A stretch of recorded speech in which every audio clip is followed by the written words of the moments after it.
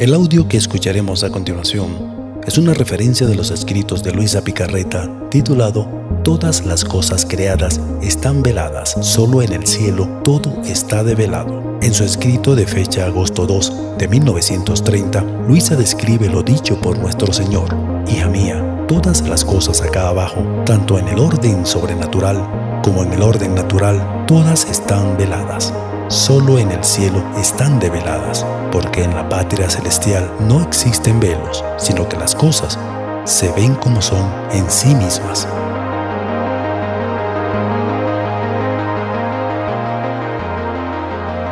Bueno, pues continuando y para complacer a algunos que me lo han pedido, vamos a tomar tal vez unos temas un poco más ligeros porque parece que el de la meditación pasada pues quedó ahí, es un poco, digamos, pesado para la inteligencia, pero como ya están mencionados los capítulos que más o menos analizamos, pues ya ustedes después podrán continuar meditando sobre esos capítulos que son de vital importancia, porque son del volumen 15.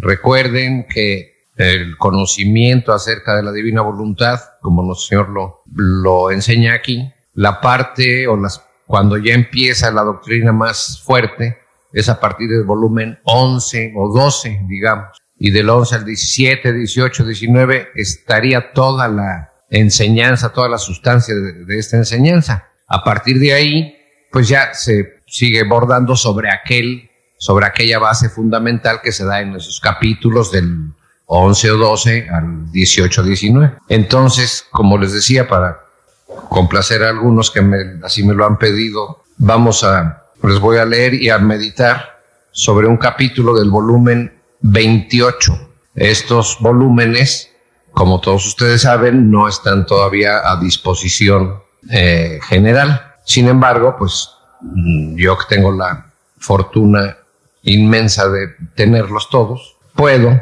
eh, compartir con ustedes pues, algunos de estos capítulos. Entonces, este es del 2 de agosto de 1930, del volumen 28.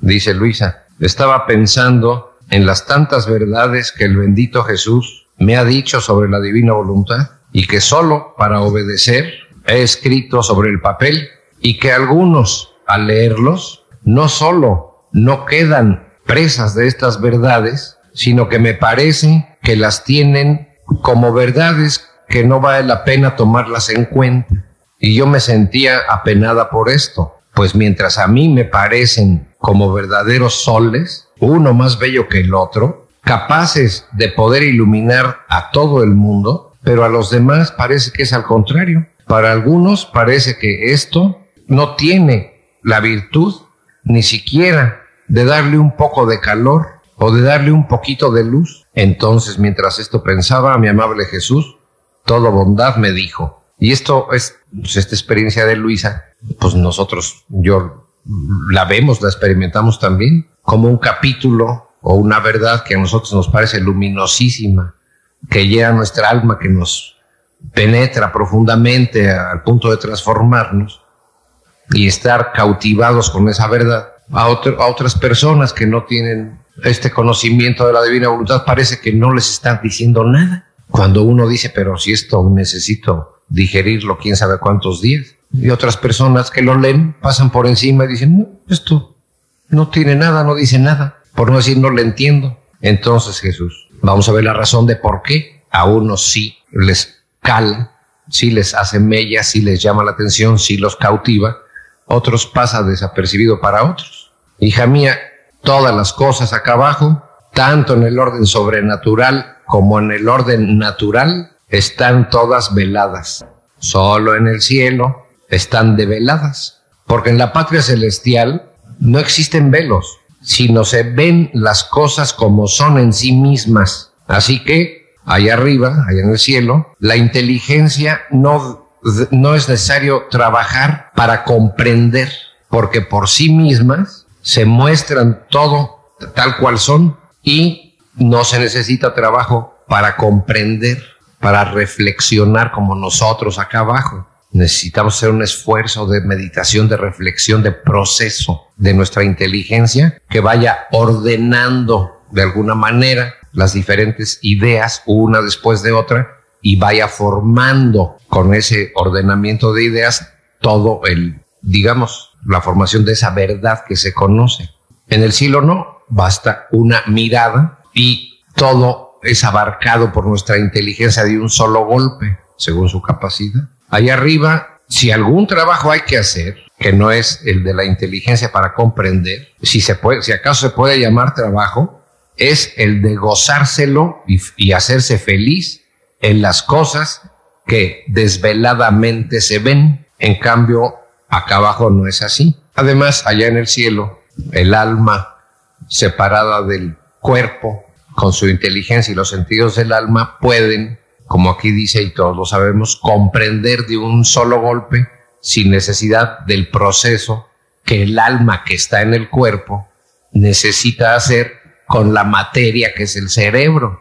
Entonces el alma en el cuerpo está, digamos, sujeta al proceso material, biológico, químico, como ustedes quieran, del cerebro para ir comprendiendo el alma en el cielo o, fuera de sí misma muchas veces como Luisa, que veía las cosas con el alma, las comprendía, luego volvía dentro de sí al uso de los sentidos y entonces se encontraba, vamos a decirlo, entorpecida el alma de Luisa por el cerebro porque tenía que reducir a un proceso mental lo que Dios había formado en su alma sin necesidad de su cerebro. Y entonces por eso la dificultad para poner por escrito todas esas vivencias tan grandiosas que captaba y que vivía desveladamente Luego metiéndose, digamos, de nuevo a usar su cerebro, venían las dificultades. Por eso Jesús tenía que auxiliarla en darle a, su cerebro, digamos, las palabras para poder concretar en palabras lo que de un solo golpe veía con su alma fuera de sí misma. Y varias veces así lo dice.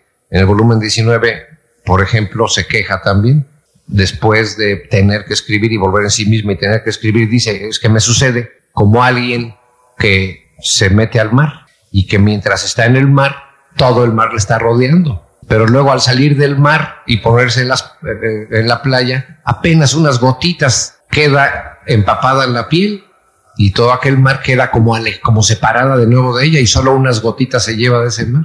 Bien, pues algún trabajo hay que hacer en el cielo, la inteligencia, no es para comprender, sino para gozárselo y para hacerse feliz en lo que de un solo golpe comprende, porque no están veladas las cosas.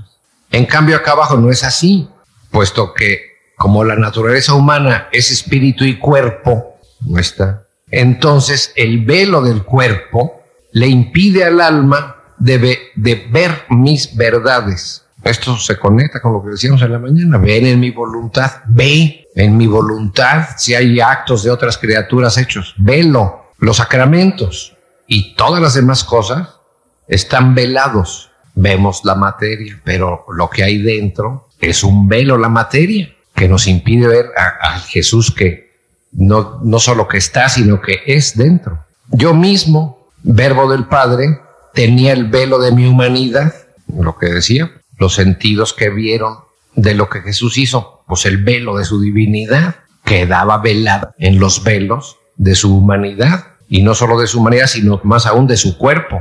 Todas mis palabras, mi evangelio, bajo formas de ejemplos y de semejanzas, también quedaba de alguna manera velada su divinidad aún en los evangelios. Y por eso también yéndonos todavía a este nivel, están pues los protestantes que teniendo este velo de la humanidad de Jesús aún en los evangelios y no queriendo romper este velo con el magisterio de la iglesia, no ven lo que hay atrás de ese velo porque negando la luz que el magisterio de la iglesia les daría para poder develar o desvelar de alguna manera el evangelio, se quedan con el evangelio velado a pesar de que lo lean, porque como no lo leen, como lo lee la iglesia, no lo leen con la luz del Espíritu Santo, que es la que es la, la luz que tiene la iglesia para leer el Evangelio y develarlo, se quedan en el puro velo y por eso no penetran, no pueden desvelar la humanidad de Jesús ni el Evangelio para encontrar la divinidad de Jesús. Y si vamos a la Santísima Virgen, pues se puso la cosa más velada todavía. Por eso tan importante, como decía yo en la mañana, el magisterio de la iglesia, las enseñanzas que como maestra, asistida por el Espíritu Santo, nos devela cómo es la interpretación, cómo es la sustancia de lo que hay tras esos velos. ¿Y quién me comprendía? Está hablando de mi humanidad, que estaba velada mi divinidad. ¿Y quién me comprendía? Solo quien se acercaba y me escuchaba con fe en el corazón, con humildad y con querer conocer la verdad que yo, les manifestaba. Con fe, con humildad y con querer conocer la verdad. Fe, humildad y voluntad de querer conocer la verdad. Y estos tres elementos después los va a manejar porque es de la manera en que se necesita para comprender todo lo que está velado aún en estos escritos de Luisa. Fe, humildad y querer conocer la verdad. Si no hay estos tres elementos, todo queda velado. No solo los escritos de Luisa, sino el Evangelio y todo lo, todo. con hacer esto, con esta actitud, rompían el velo que oculta que ocultaban mis verdades y encontraban el bien que había en ellos, con la fe, con la humildad y con querer conocer mis verdades para ponerlas en práctica. Aquí entra otro elemento, no nomás la fe, la humildad y la voluntad de querer conocer, sino además la voluntad de querer poner en práctica.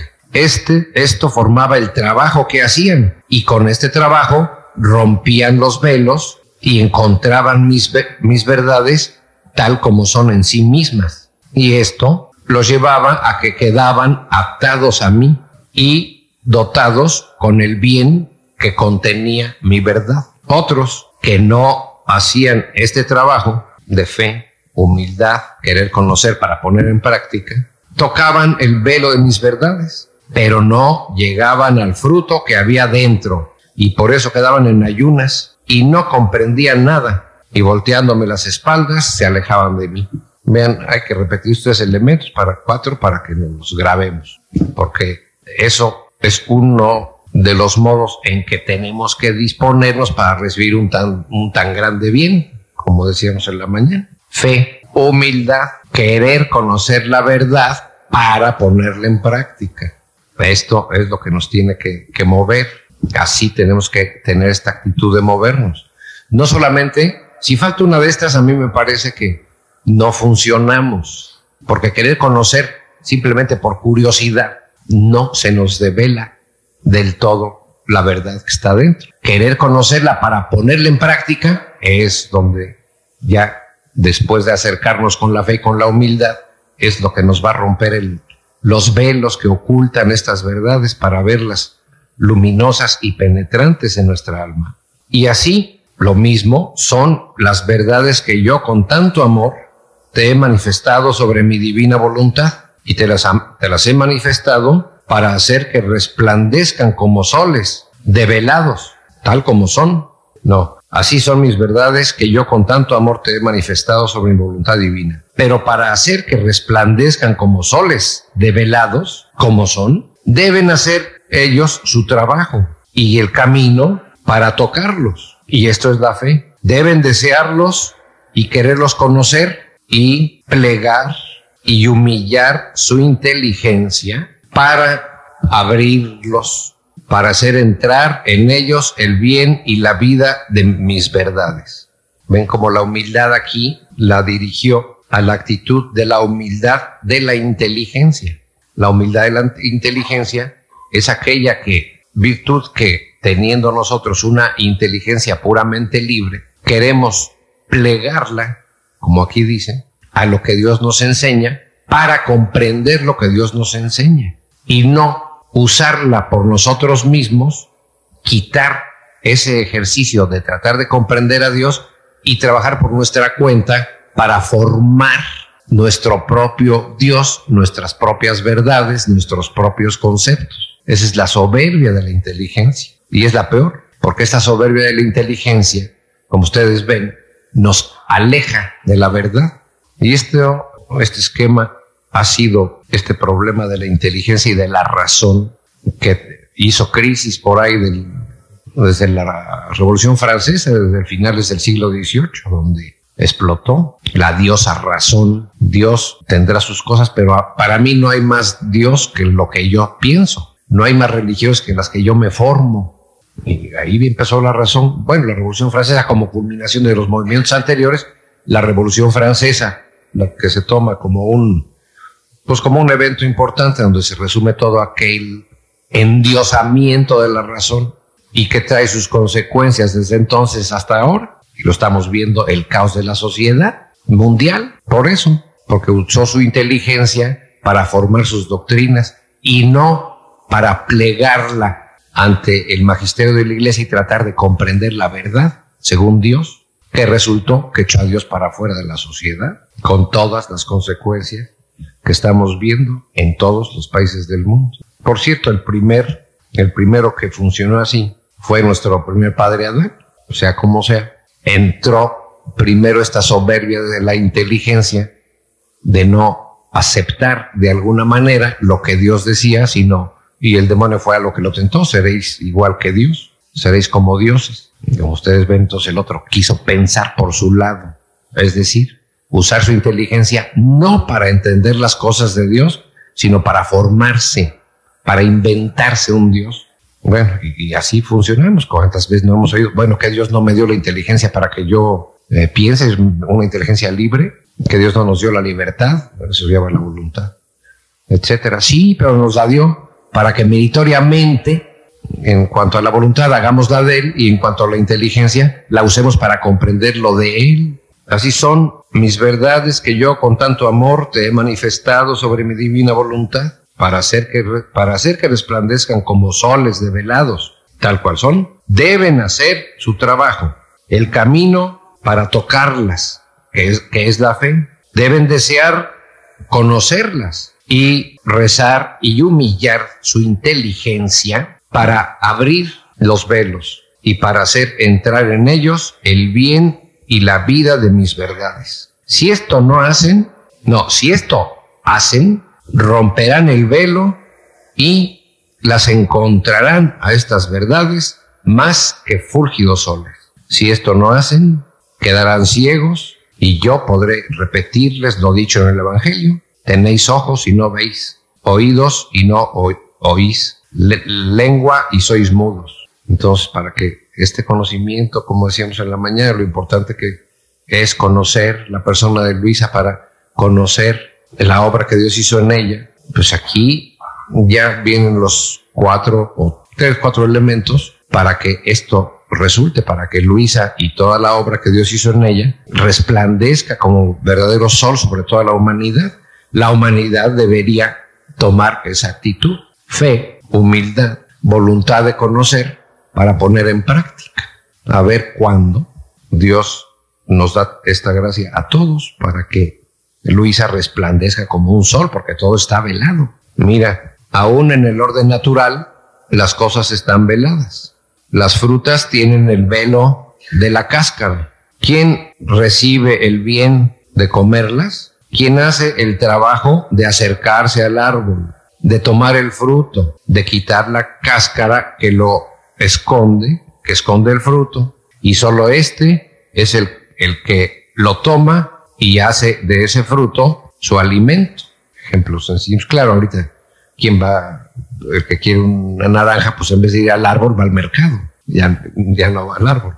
Pero en fin, ese acercarse, aunque vaya al mercado, tiene que ir, acercarse a la naranja, tomarla, pelarla y comérsela. Y, y, y quien no hace ninguno de estos cuatro pasos tan elementales, tan evidentes y tan sencillos, pues no tiene la naranja en el estómago. Los campos están velados con la paja. Quien toma el bien de lo que aquellas pajas ocultan, bueno, pajas o espigas, aquí es la traducción, porque está en italiano. Quien, quien las desviste de esas pajas o espigas, tiene el bien de tomar el grano para hacerse un pan o para hacerse su alimento cotidiano. En suma, todas las cosas acá abajo tienen un velo que las cubre. Y para dar al hombre, para dar al hombre el trabajo, la voluntad y el amor para darse al hombre se necesita el trabajo y la voluntad y el amor de poseer para poder gustar. Ahora, mis verdades superan grandemente las cosas naturales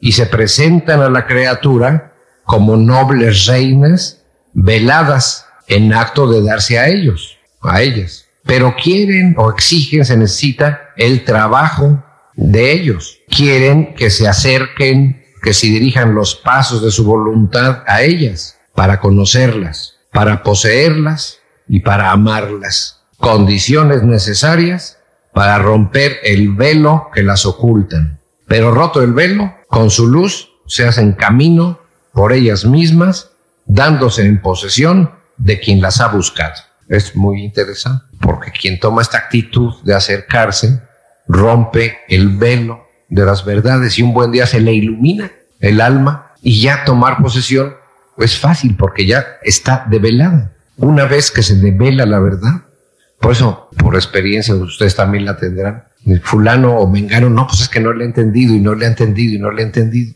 Y un buen día llega ese fulano y ya le entendí y llega felicísimo. ¿Por qué? Porque estuvo en ese punto en que su buena voluntad develó esa noble reina que es la verdad oculta. Y desde ese día, como ya lo tiene develado, empieza a disfrutar de la posesión de ese bien y difícilmente se regresa porque ya tiene ese mismo, esa misma verdad de velada, empieza a comunicarle todos los bienes que contiene. Y eso lo hemos visto, yo diría casi todos los que estamos aquí, no solo en nosotros, sino en algunos otros, cómo han de alguna manera caminado así hasta que tuvieron buena voluntad de acercarse y decir, bueno, a ver, a ver qué es esto por los mismos comentarios que hacemos entre nosotros, así ha sucedido. Pues yo después de tantos años decía uno, pues un buen día tomé esto y me cambió la vida. Pues sí, ese día entendí, develó el contenido de las verdades. Y otros con los libros de Luis ahí en el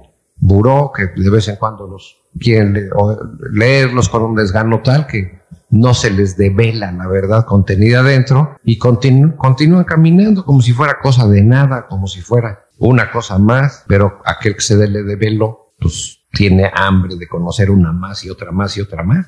Esta es la razón por, lo, por la que quien lee las verdades sobre mi divina voluntad y hacen ver que no comprenden lo que leen, es más, muchos hasta se confunden porque falta la verdadera voluntad de quererlas conocer. Se puede decir que falta el trabajo para conocerlas y sin el trabajo no se adquiere nada ni se merece un bien tan grande, y yo con justicia les niego lo que abundantemente doy a los humildes y que suspiran el gran bien de la luz de mis verdades. No comento esto porque todos lo vemos en nuestro alrededor. Esta es la razón por la cual quien lee las verdades sobre mi divina voluntad y hace ver que no comprende lo que lee, es más, se confunde, es porque le falta la verdadera voluntad de quererlas conocer. Se puede decir que le falta el trabajo para conocerlas. Y si en ese trabajo no se adquiere nada, ni merecen un bien tan grande. Y yo con justicia les niego lo que abundantemente doy a los humildes, es decir,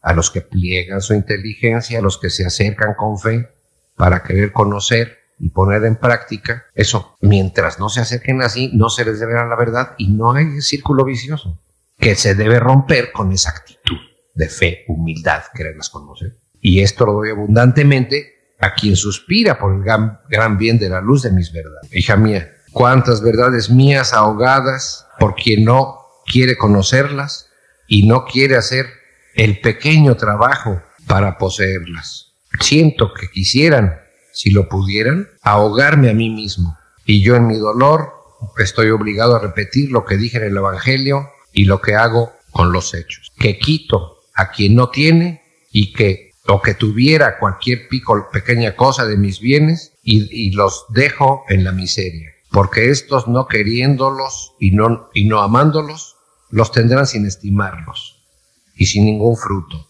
Y daré y doy abundantemente a aquellos que tienen, recuerda, el que tiene poco se le será quitar, que tiene mucho le dará que tienen, porque estos los tendrán como preciosos tesoros y los harán fructificar siempre más. Bueno, pues ven una enseñanza del volumen 28 que por otro lado nos es bastante, son bastante accesibles, no son eh, capítulos tan pesados, eh, entre comillas, como los del volumen 15, 16, que están eh, enseñándonos el interior de la humanidad de Jesús y cómo su divinidad obra en él.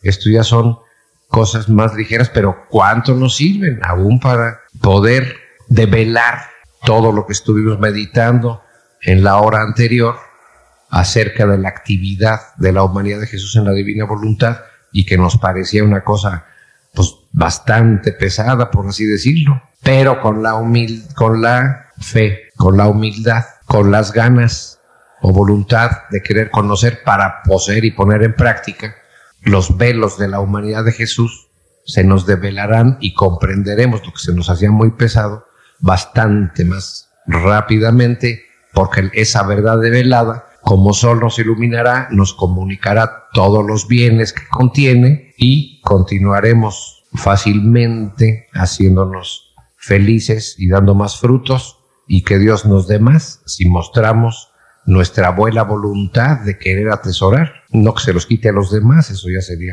demasiado pedir, basta con que a mí me dé más, no sé de dónde lo saque.